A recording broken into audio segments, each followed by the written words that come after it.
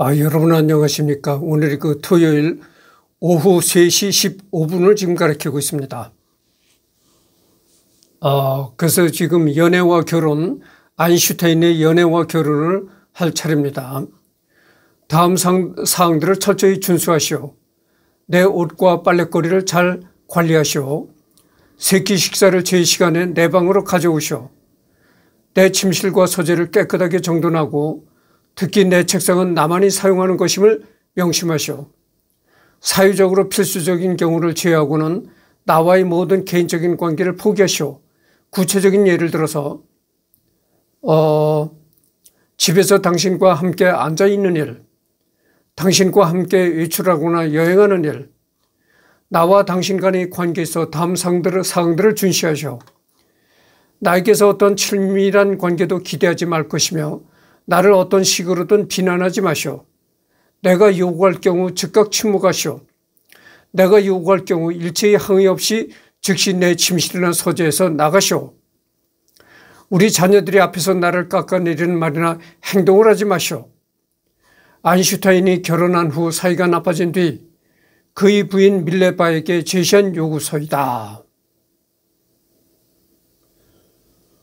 어, 결혼, 물론 결혼 초기부터 대뜸 이런 통보를 한 것은 아니었고 사이가 나빠진 후에 보낸 메모라고 한다. 당연히 밀레바가 이런 요구를 지킬 리 없었고 이 메모를 보낸 것 때문에 부부 관계가 더욱 나빠져서 안슈타인은 결국 이혼당하고 만다. 어? 그러니까 뭐 아인슈타인이 그 자기 부인한테 처음서부터 이렇게 이런 요구를 한 것은 아니고요.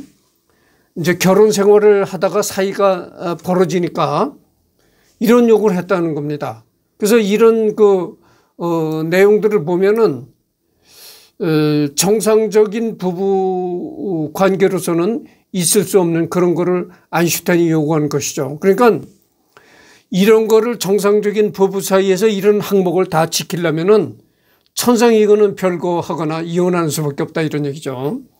그래서 참 안슈타인도 이 부부간에 있어서는 좀 재미난 면이 있었다 이렇게 말할 수가 있습니다. 그래서 이런 항목을 전부 다 이렇게 그 적어가지고 제시하니까 야 이건 안 되겠다. 그래서 어 그 안슈타인 부인 이 결국에는 이혼을 청구했다고 하죠. 음. 그래서 이제 그의 과학적 업적과는 별개로 한 인간으로서 가장 크게 비판받는 부분이라면 아무래도 결혼 생활에 관한 것이라고 할 수 있다. 결혼을 두 번 했는데 우선 첫 번째 부인 밀레바는 결혼하기 전부터 아인슈타인의 집안 쪽에서 그녀에 대한 반대가 있었다고 한다. 가장 큰 이유는 밀레바가 아인슈타인보다 나이가 많고 아인슈타인과 동시에 물리학을 전공했으며 세르비아계 세르비아계 외국인이었기 때문이라고 한다. 그래서 첫 번째 부인이 이제 밀레바라는 여성인데 이 밀레바는 왜그 시댁에서 그러니까 아인슈타인 집에서 반대를 했냐면은 이 미, 여자가 남자보다 나이가 많다. 응? 여기 보면은 세 살 연상이라는 겁니다. 세 살 연상. 뭐 세 살 연상 가지고 그러느냐. 그때만 해도 지금보다는 이제 옛날이니까 아마 그랬던 모양이요. 아니, 한국도, 한국에도요. 10년 밑에 연하의 남자를 남자하고 결혼한 여자들이 있어요. 10년 연하의 남자하고 결혼한 여자들이 있다니까. 그런데, 그런데다 비교해 보세요. 그 뭐, 고작에 어? 3살 연하인데 뭐 3살 연하 그거 가지고 뭐. 음. 하여튼 그래서 그 안슈타인보다 나이가 많고 또 세르비아계, 세르비아의 여자라는 겁니다. 그래서 외국인이라서, 어, 좋지 않고 그래서 두 가지 이유를 들어서 시댁에서 이제 결혼을 반대했었다고 하죠.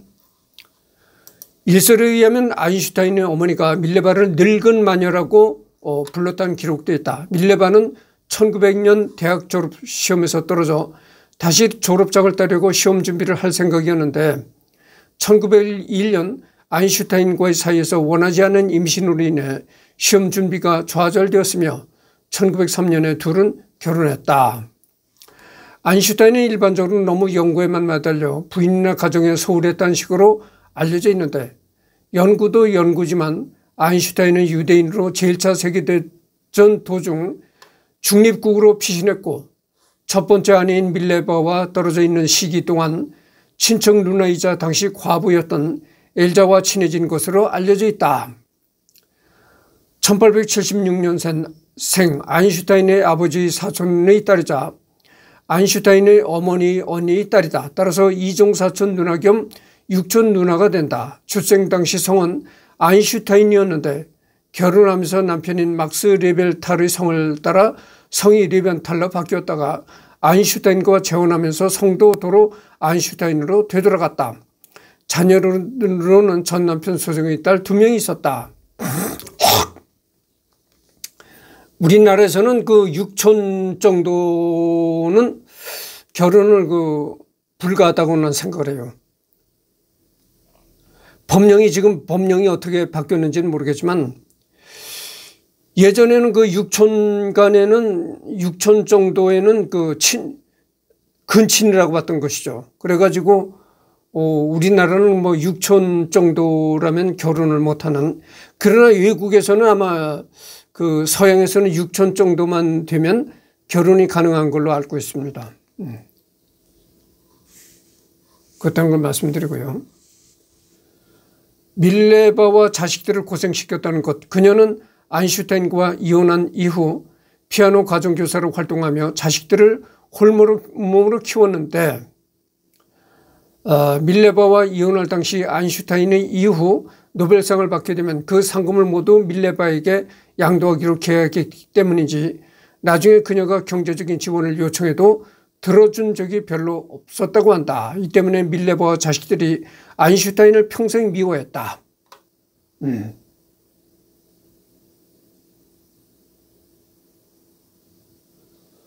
그래서 이제 그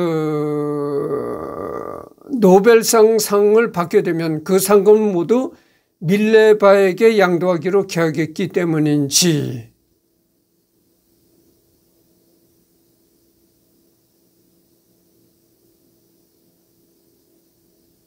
그래서 하여튼 그 이 아인슈타인이 그 노벨 노벨 물리학상을 이제 받았잖아요. 그 상금이 노벨상 상금이 10억 정도 된다고 합니다. 10억 하여튼 뭐 10억은 되나 봐요. 그러니까 10억, 10억 이라면 뭐 거액이죠. 음. 그래서 이제 그 노벨상을 받았는데 그 상금을 이 이혼한 전 부인한테 이제 보내줬다는 거죠. 음. 게다가 엎친 데 덮친 격으로 아인슈타인과 밀레바 사이 차남이었던 에드하르트는 정신분열증을 심하게 앓는 바람에 밀레바와 장남 한스를 힘들게 했다. 음란한 사진으로 자신의 방을 도배하고 헛소리를 하며 행설수설하고 발광을 심하게 했다고 한다. 이 그 아인슈타인과 전부인 이혼한 전부인 밀레바의 사이에서 태어난 둘째 아들이 이 정신병자가 됐다는 겁니다. 그래가지고 막 돌아다니며 헛소리를 짓거리고 또 자신의 방에다가 아주 그 음란 사진들을 도배를 했다는 거예요. 그러니까 남녀 간에 뭐 섹스하는 사진 이런 걸 도배하고 막 헛소리를 하고 행설수설하고 돌아다녔다는 거예요. 결국 에드, 에두아르트는 20대에 집에서 느닷없이 발작을 일으켜 난동을 부리고 어머니 밀레바의 목을 졸라서 죽이려 했던 일 때문에 형 한스의 신고로 출동한 스위스 경찰에게 체포되어 평생 스위스의 정신병원에 사실상 수감되다시피 입원한 채로 살다가 1965년 55세의 나이에 뇌졸중으로 죽었다. 그렇게 막 그 자기 방에다 음란 사진을 붙여놓고 행설수설하고 어 난동을 부리고 이러, 이랬는데 어느 날 갑자기 또 자기 어머니를 죽이겠다고 어 막 그 자기 어머니를 목을 졸라서 죽이겠다고 했다는 겁니다. 그래가지고 그 형 한 형이 깜짝 놀라가지고 스위스 경찰에다 신고를 했다는 거예요. 그래서 그, 그때서부터 이, 이 아인슈타인의 작은 아들이 경찰에 체포돼 가지고 스위스의 어느 정신병원에 감금됐다는 거예요. 그래 가지고 평생 그 병원에 감금돼서 살다가 55살의 나이로 어, 뇌졸중으로 죽었다는 겁니다. 그래도 밀레바는 차남 음, 에드와르트를 아껴 그가 정신병원에 수감되었을 때도 스위스에서 어, 살며 정기적으로 아들을 찾아오며 돌봐주었고 1948년 73세로 사망할 때도 스위스에서 죽었다. 그러니까 이 어머니는 어머니 밀레바는 뭐 아인슈타인과는 이혼했지만 어쨌든 간에 그래도 이 차남이 그렇게 정신병에 걸려서 어, 난동을 부리고 그랬지만 어쨌든 간에 그래도 아들을 사랑하는 마음은 끝이 없어 가지고 그 정신병원에 아들이 감금돼 있을 때도 수시로 면회를 가고 그래서 이제 살다가 어 1948년 74, 73세로 어 사망할 때도 스위스에서 죽었다 이렇게 나옵니다. 음. 그러니까 뭐 그 부모의 사랑 부모의 사랑은 끝이 없는 거죠. 부모가 자식을 사랑하는 그 마음은 끝이 없는 겁니다. 밀레바의 장남 한스는 부모의 뛰어난 재능을 물려받아 총명해서 버클리 주립대학에서 수력학 교수를 역임했으며 나중에 뛰어난 토목공학자가 되었다. 특히 한스는 아버지 아인슈타인과 달리 결혼 생활은 원만했고 아내와 자식들과 손자들과도 좋은 관계를 유지했다. 비록 정신분열증을 앓던 동생 에드하르트 때문에 힘들어하기도 했으나 그럼에도 불구하고 동생을 생각해 주어 스위스로 어머니에게 생활비와 동생의 병원비를 보내줬고 동생이 말년에 가서 건강이 악화되었을 때는 병원비를 스위스 정부로부터 지원받게 해주고 스위스 요양원으로 옮겨주어 살게 했다. 게다가 1965년에 동생이 사망했을 때 지역 신문에 장문의 글을 쓴 부고를 실어 동생의 죽음을 슬퍼하기도 했다. 그러니까 이 동생은 동생은 이렇게 전, 저, 정신병에 걸리고 난동을 부리고 헛소리하고 뭐 어머니를 죽이겠다고 막 어머니를 목을 졸르고 했었지만은 이 장남, 어, 장남 한스라는 장, 사람은 어, 정상적이고 상식적인 사람이 제대로 된 사람이었었네요. 그래가지고 이 장남 한스는 그 아버지 그 어? 아인슈타인의 그 지능을 유전받았는지 아주 그 지능이 뛰어났다는 겁니다. 지능이 뛰어나가지고 버클리 주립대학에서 이제 교수를 지냈고 그 다음에 나중에는 이 뛰어난 토목공학자가 되었다는 거죠. 그래가지고 그 근데 이 한스는 이렇게 머리가 좋아서 어, 대학 교수가 되고 토목공학자가 되었지만 또 결혼 생활도 참 원만하게 결혼 생활도 잘했다는 거예요. 그래가지고 아내와 자식들과의 관계도 좋았고 그러면서 나중에는 이 장남 한스가 이 스위스의 그 정신병원에 감금되어 있는 동생한테도 어 병원비를 조달해 줬고 스위스에서 혼자 살고 있는 어머니한테도 생활비를 어, 보태 줬다는 겁니다. 음. 그, 그러다가 이제 그, 어, 정신병원에 감금되어 있던 동생이 죽자 스위스 지역 신문에 글을 써서 어, 동생의 죽음을 슬퍼했다. 이런 얘기입니다. 그러니까 이 안슈타인의 장남은, 장남은 정말 제대로 된 사람이죠. 음. 하지만 한스는 자신과 어머니와 동생에게 무관심했던 아버지를 평생 미워했고 부모 취급도 하지 않았다. 그래서 이 장남은 참 아내를 사랑하고 자식을 사랑하면서 어머니한테 생활비도 보내주고 동생, 동생이 이제 정신병원에 감금돼 있는데 그 동생 병원비도 보태주고 이렇게 했지만은 아버지인 아인슈타인을 미워했다는 겁니다. 예, 가족 이혼하고 가족을 돌보지도 않고 그랬다고 해가지고 음. 특히 결혼하고 손자를 얻어도 아버지에게 연락하거나 찾아가지 않았으며 아인슈타인의 부모를 부고를 듣고도 전혀 슬퍼하지 않았고 장례식장에 찾아가지도 않았으며 나중에 신문에 짤막한 에드먼을 몇 줄 낸 것이 전부였다고 한다. 아버지의 무책임한 도피 이후 1년의 불행을 겪었으니 어찌 보면 당연한 일이다. 아인슈타인의 죽음을 보면 알 수 있듯 아인슈타인 본인도 여생에 큰 미련은 없었던 것 같다. 이처럼 아인슈타인은 과학자로서 높은 성취와는 별개로 아내와 자식들에게 좋은 남편이자 좋은 아버지라고 말하기는 힘든 인물이었다. 그래서 아인슈타인은 내가 전번에도 얘기를 했지만 음악의 성인은 베토벤이다. 그러면 과학의 성인은 아인슈타인이다 이렇게 말할 수가 있습니다. 아인슈타인의 이름을 모른다. 아인슈타인을 모르는 사람이 있다. 그 사람은 지구인이 아니다. 그럴 정도로 유명한 사람이다 이런 얘기를 하는데 그렇게 과학적으로는 높은 명성을 쌓고 성공을 한 인물이었지만 정작 이 가정생활과 아내 자식들에게는 그 뭐 별로였다. 가정생활은 별로였다 이거죠. 음. 그다음에 1906년에서 1932년 쥐리 베를린 뭐 이런 얘기가 나오는데 읽어보도록 하겠습니다. 어, 물리학자로서 아인슈타인이 일으켜낸 가장 괄목할 업적은 일반 상대성 이론, 즉 새로운 중력 이론이다.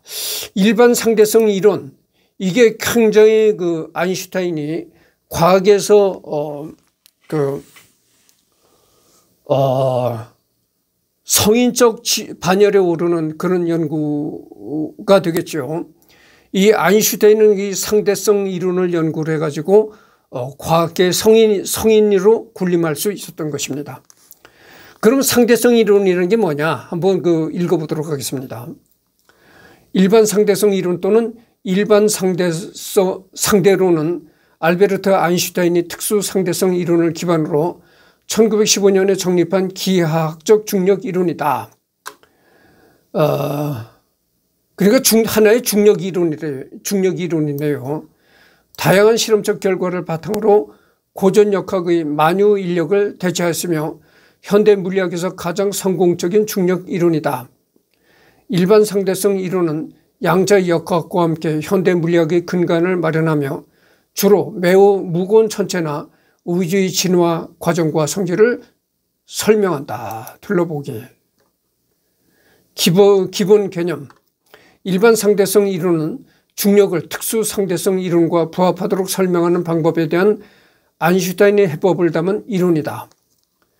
두 이론이 구분되는 것은 이 해법이 단순한 수정, 어, 수정 그 이상의 의미를 갖기 때문이다. 안슈타인은 중력을 고전적인 힘이 아닌 4차원 시공간의 기하학적 특성과 관련, 관련된 새로운 종류의 현상으로 재해석했다. 이는 당대의 다른 접근법에 비해 매우 파격적이었을 뿐만 아니라 100여 년이 지난 현재까지 가장 성공적인 중력 모델이다. 그 정확한 기원은 안슈타인이 1907년 처음 제안한 등가 원리로 거슬러 올라간다. 중력만을 받는 자유낙하는 자유낙하는 게 떨어지는 걸 얘기를 떨어지는 물체를 낙한다고 하잖아요. 음. 모든 입자가 질량, 부피, 전하 등 그 성질에 상관없이 똑같이 떨어진다는 것은 중력에 대해 매우 잘 알려진 사실이다. 이 경우 중력을 받지 않는 기준 입자를 설정할 수 없으므로 모든 입자들이 표준 운동을 한다고 보는 편이 합리적이다. 따라서 등가 원리는 자유낙하가 곧 가장 자연스러운 운동 즉 관성 운동이라고 가정한다. 이런 관점에서 중력만을 받는 모든 입자는 시 공간상에서 관성 상태에 대응하는 직선 궤적을 그리게 된다. 뭐 여기까지만 하겠습니다. 더 깊이 더 깊이 들어가면은 이 곁가지에만 충실하면 또 어, 기본되는 길을 잃어버리게 되잖아요. 길을 잃어버리게 된다고죠. 그래서 결까지는 너무 깊이 안 들어가는 게 안 들어가겠습니다. 하여튼 그, 어, 여기까지 하고, 등가 원리. 예?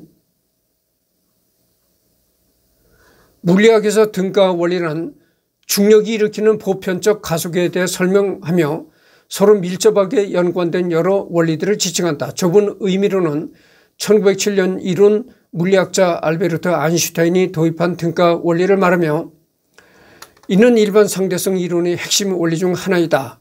등 가 원리는 물리학에서 가장 특징적이고 정밀하게 검증된 주요 원리 중 하나로 일반 상대성 이론을 비롯한 다양한 중력 이론의 기반임과 동시에 실험적 검증의 대상이 된다. 잘 알려지고 어, 중요한 실험에는 대표적으로 헝가리 물리학자 위트비시가 19세기에서 19세기 말에서 20세기 초에 수행한 비틀림 저울 어, 실험이 있다 이런 겁니다.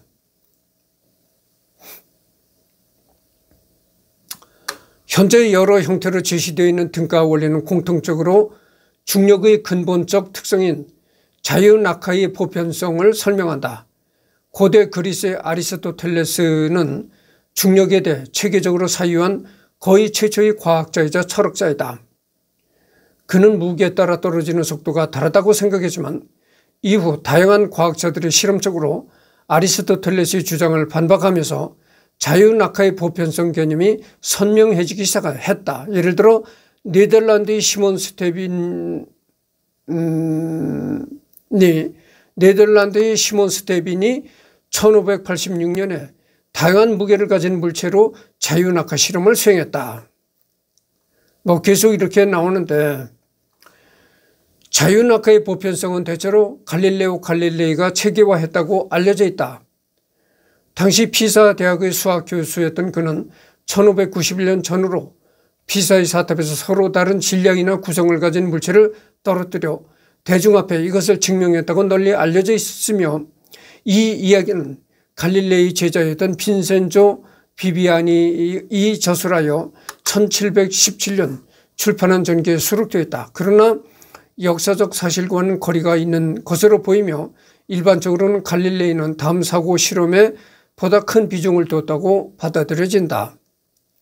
이 사고 실험은 갈릴레이 저서 운동에 관하여와 새로운 두 과학에 실려있다. 이런 얘기입니다. 아까도 얘기했지만 이, 이 곁가지 길에 자꾸 충실하다 보면 안 됩니다. 곁가지에, 곁가지에 너무 깊이 들어가게 되면은 딱 너무 깊이 들어가다가는 본 줄기를 잃어버리게 된다 이거죠. 본, 본래의 길을 잃어버리게 된다 그죠. 그래서 어, 본래의 안슈타인으로 되돌아가도록 하겠습니다. 음.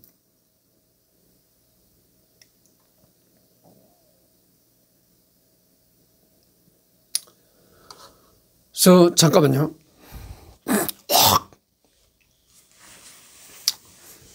물리학자로서 안슈타인이 일으키는 가장 괄목한 업적, 업적은 일반 상대성 이론, 즉 새로운 중력 이론이다. 그는 일반 상대성 이론을 완성하기 위해 1907년부터 1915년까지 거의 9년을 소비했으며 결코 쉽지 않은 여정이었다. 아, 그러니까 일반 상대성 이론을 완성하기 위해서 9년이 걸렸다는 겁니다. 그러니까 9년이면은 1년이 없는 10년이죠. 그러니까 거의 10년을 이렇게 연구해서 일반 상대성 이론을 이제 완성했다. 이런 얘기죠. 1907년 발견한 등가 원리는 훗날 안슈타인 스스로 생애 가장 행복한 생각이라 부른 것이다. 하지만 당시에는 아이디어를 크게 발전시키지 못하고 곧 양자 문제에 눈을 돌렸다. 1911년 10월에서 11월에는 복사와 양자 문제를 중심으로 첫 번째 솔베이 회의가 열렸다. 아인슈타인이 이곳에서 로렌츠, 마리 퀴리, 어니스트 러더퍼드 등과 교류하였다. 여러분 마리 퀴리가 또 얼마나 유명합니까? 아, 유명한 과학자죠. 음. 언제가 마, 마리 퀴리, 이 마, 언제가 이 마리 퀴리라는 여자에 관해서도 할 것이라고 내가 여러분들한테 생각, 얘기를 합니다. 그러나 그때가 언제가 될 것인지는, 어, 뭐, 얘기할 수 없습니다. 너무 해야 될 사람이 많아서 생각해 보세요. 이 대한민국이나 뭐 대한민국의 일제시대 때 조선시대 고려시대까지 거슬러 올라가면 이 우리나라도 할 사람이 얼마나 많습니까 그런데 하물며 외국 사람이 더 어, 언제 할란지 모르죠 이제 그런데 이 여자가 이제 마리 퀴리란 여자죠 음? 여러분들 그 말, 학교 공부한 사람들은 알 것입니다. 이 여자도 상당히 유명한 여자입니다. 마리 퀴리. 퀴리 부인이라고 하죠. 퀴리 부인. 음. 근데 이 사람이 이제 그 큐리 부인은 어, 방사능 연구를 한 겁니다. 방사능. 그러니까 여, 여러분들 그 어, 방사선이라고 이제 엑스선 뭐 어, 어, 엑스레이 사진 뭐 이런 거. 어. 이제 방사선을 어, 발견한 거죠. 이 사람이. 음. 여자가. 그래서 이제 어, 라듐을 발견한 겁니다. 라듐. 이것도 이제 방사선의 일종인데 어, 라듐과 플로, 플로늄을 발견하게 된다. 이런 얘기입니다. 어.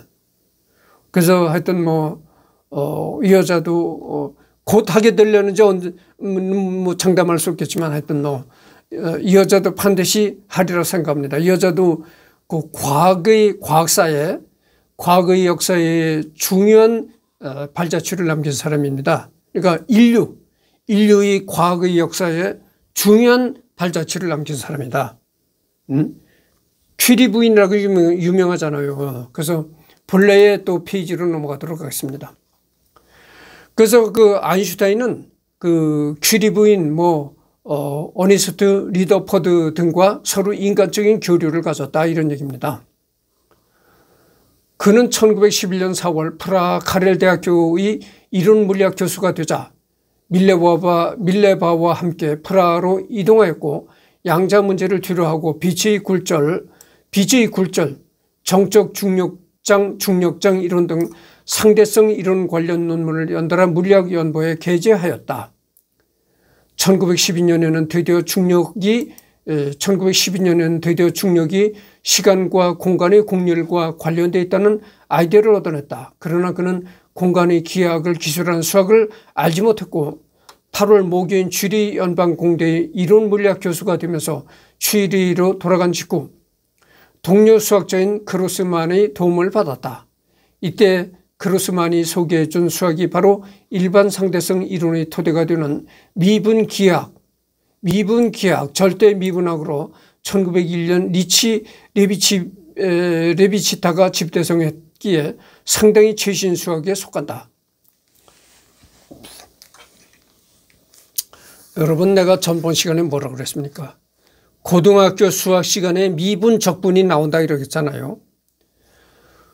근데 그 고등학교에서 가리키는 그 미분 적분은 그 기초적인 것이고 이 미분 기학 뭐 절대 미분학 이런 거는 상당히 그 아주 전문적인 그러니까 그 어, 아마 그 대학에서 수학을 전공해야만 알 수 있는 그런 수학 이론이죠. 1901년 음. 리치 레비치타가 집대성했기에 상당히 최신 수학에 속했다. 아인슈타인은 이 수학을 익히는데 매우 어려운 시간을 보냈다고 해고하였다.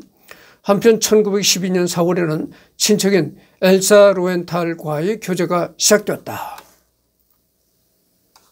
1913년 7월 그는 막스 플랑크의 추천을 받아 프로이센 과학 아카데미의 회원이 되었고 학생 교육에 대한 의무를 지지 않고 자유롭게 연구할 수 있는 환경이 마련되었다. 그러나 1914년 4월 취리히에서 베를린으로 이주함과 동시에 7월 제1차 세계대전이 터지면서 그는 매우 혼란스러운 환경에 놓이게 되었으며 부인 밀레바와의 관계는 악화되어 별거할 지경에 이르렀다.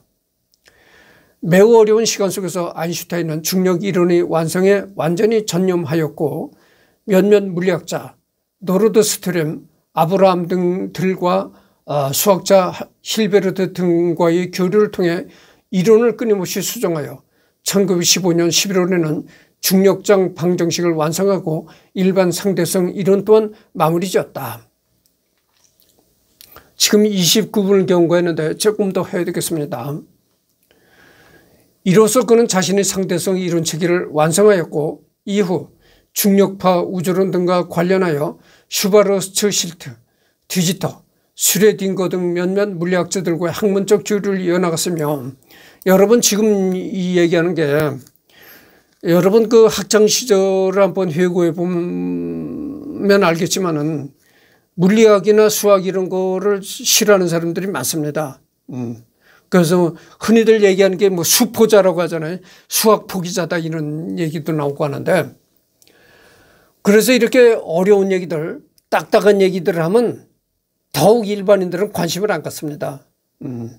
그래서 이렇게 그 아인슈 지금 내가 아인슈타인 하면서 이렇게 그 수학적인 얘기, 물리학적인 얘기 이런 거를 하면은 정말 관심이 없으라고 생각, 일반인들이 클릭조차 하지 않으라고 생각합니다. 그래서 어, 일반인들은 뭘 좋아할까요? 평범한 일반인들은 무슨 얘기를 좋아하느냐? 여자하고 연애하는 얘기. 그렇지 않으면 대중음악의 가요. 어. 한번 보고 두 번 보고 또 한 번 보고 싶네. 그 누구의 애인인지 자꾸만 보고 싶네 이런 얘기들 아주 속된 얘기들 속된 노래 뭐 그리고 뭐 여자 얘기 그런 거래야 눈이 번쩍 뜨이는 거죠. 어. 그런데 이런 물리학이나 뭐 이 수학 이런 얘기를 하면 이건 뭐 아예 관심조차 안 가는 거죠. 음. 그래서 이 아인슈타인을 하면은 조회수가 굉장히 안 나오리라고 생각합니다. 음. 그렇잖아요. 물리학이나 수학 이런 거는 정말 머리가 좋고 이런 사람들이랑 관심을 갖는 것이지 머리가 좋고 이런 그 이과계통의 학문을 전공한 사람들은 관심을 갖는 것이지 관심 없다고 저 딱딱하고 재미없다고 관심을 안 가져요. 어? 평범한 사람들을 뭐라고 합니까? 갑돌이와 갑순이는 한 마을에 살았더래요. 그 남자는 갑돌이, 여자는 갑순이다 이거죠. 그러면 갑돌이와 갑, 갑순이라는 그게 뭐 개념이 뭡니까? 평범한 남자 여자를 갑돌이, 갑순이 이러거든. 그러니까 갑돌이와 갑순이라는 것은 평범한 사람, 평범한 남녀를 일컫는 하나의 대명사 다 이거죠. 그렇게 그 평범한 남자와 여자 일반 국민들은 그렇게 뭐 여자 얘기, 연애 얘기, 그렇지 않으면 뭐 그렇게 한 번 보고 두 번 보고 이렇게 속된 노래 이런 거에 눈이 번쩍 들리고 관심이 있어진다 그죠. 근데 뭐 이런 거는 딱딱하고 재미없는 얘기가 돼서 전혀 관심을 안 갖습니다. 그러나 어쨌든 간에 아인슈타인은 참 굉장히 천재적인 사람이고 과학의 역사에 뚜렷한 그 발자취를 남긴 사람입니다. 그래서 그 아인슈타인은 참 음, 너무나 인류 역사에 큰 공헌을 한 사람이죠. 음. 아인슈타인은 이후 1922년에 1921년분 노벨 물리학상을 받는다. 수상 근거는 이론 물리학에 대한 공로, 특히 광전 효과 법칙 발견이었다. 수상식 연설문에 의하면 이론 물리학은 상대성 이론, 브라운 효과 그리고 광전 효과 세 가지였다. 그러기 이렇게 그 아인슈타인이 천재로서 어 천재다 이렇게 그 세계적으로 이름이 나니까 어떻게 됐겠어요. 아인슈타인이 딱 죽으니까 아인슈타인의 뭐 뇌를 어떻게 뭐 뇌를 이 머리를 분해를 했나 보죠. 그래서 이 머리 뚜껑을 탁 열고 뇌를 이렇게 이 아인슈타인 뇌를 이렇게 절개를 했다고 합니다. 몇 건, 이제 몇 개로 등분을 했는데 그게 하여튼 뭐 도난을, 도난당했는지 하여튼 그렇게 된 모양이에요.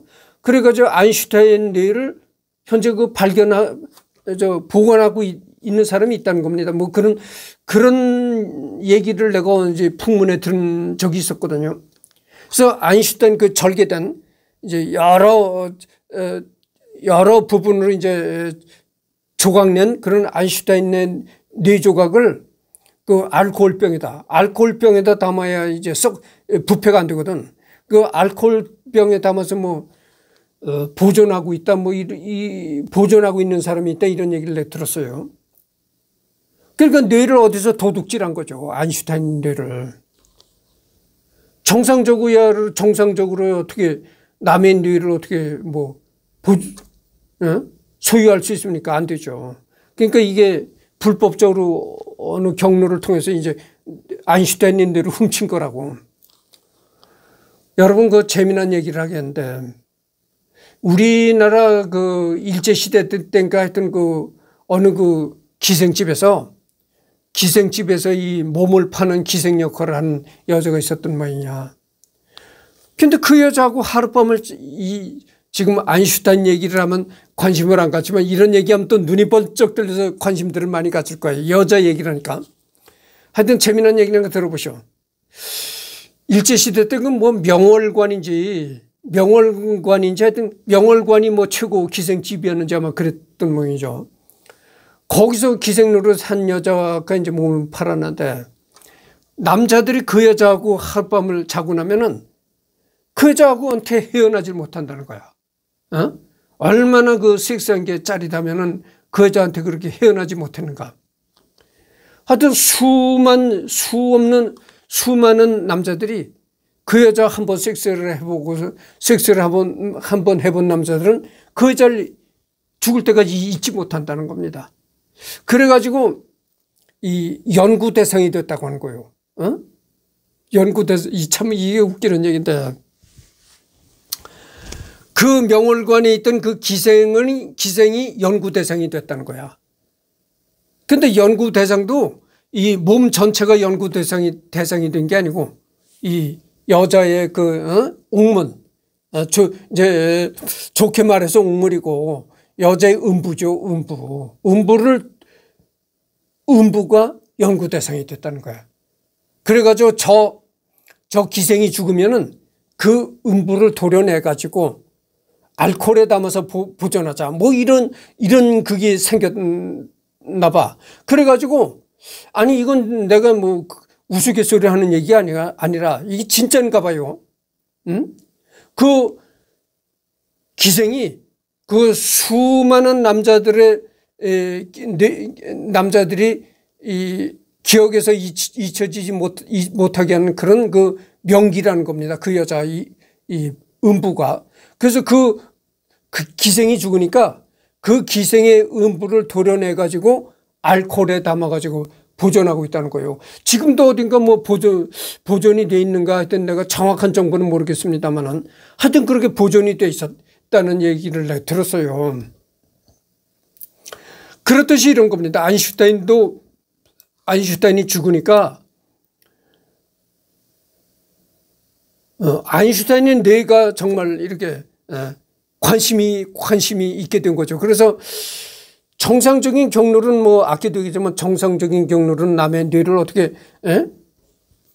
복원할 길이 없잖아요. 그러니까 어디 뭐 어, 어떤 뭐 경로를 통해서 하여튼 도둑질 했는지 하여튼 아인슈타인의 뇌를 잘, 잘게 이렇게 쪼갠 그 한 조각을 이 알코올에 담아서 뭐 보관하고 있다 이런 얘기를 들었어요. 만일 그게 이 경매에 나온다면은 엄청나게 고가에 팔리겠죠. 아인슈타인의 이 조각난 뇌를, 뇌가. 그 적어도 경매에 나온다면은 경매에 나온다면은 뭐한 어, 5억이나 10억 정도 불리지 않을까. 그, 그 정도 액수래야 그걸 살 수 있지 않을까 생각합니다. 하여튼 뭐 그렇고. 그리고 얼마나 아인슈타인이 천재로서 이름 났는가를 우리가 알 수 있는 거예요. 에? 그렇게 천재로서 이름난 사람이 죽으니까 그렇게 뇌, 뇌가 도둑질까지 당하는 겁니다. 음. 그래서 이번 시간은 지금 38분을 경고했는데 여기까지만 하고요. 어, 다음에는 이 미국으로 망명하다 여기서부터 하도록 하겠습니다.